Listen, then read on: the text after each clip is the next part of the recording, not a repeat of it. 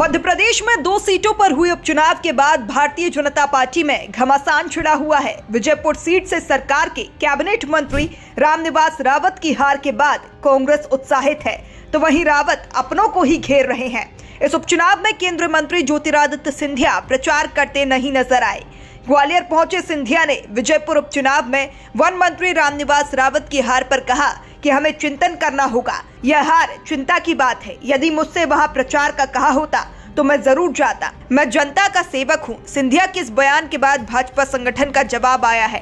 BJP के प्रदेश महामंत्री और विधायक भगवान दास सबनानी ने कहा कि विजयपुर के स्टार प्रचारकों की सूची में सिंधिया का नाम था। सीएम डॉक्टर मोहन यादव, प्रदेश अध्यक्ष वी शर्मा और संगठन महामंत्री ने उन्हें विजयपुर में आने के लिए आग्रह किया था। उन्होंने अपनी व्यस्तता के चलते नहीं आ पाने की बात कही।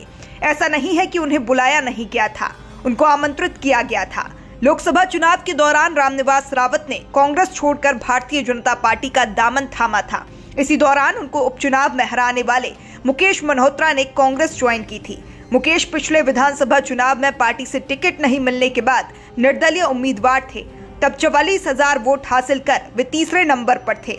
मुकेश सहरिया समुदाय से आते हैं, जिनकी जनसंख्या विजयपुर में अधिक है। विजयपुर विधानसभा उपचुनाव में हार के बाद रामनिवास रावत का दर्द छलका है। उन्होंने कहा कि कुछ लोगों को लगा कि मेरे बीजेपी में आने के बाद उनका सब कुछ खत्म हो जाएगा। उन लोगों ने मुझे हराने में कोई कोर कसर नहीं छोड़ी। ऐसे लोगों ने जनता को भ्रमित किया और मूल भाजपा के लोगों को बरगलाया। कांग्रेस प्रत्याशी मुकेश मल्होत्रा ने करीब सात हज़ार वोटों के अंतर से चुनाव हराया।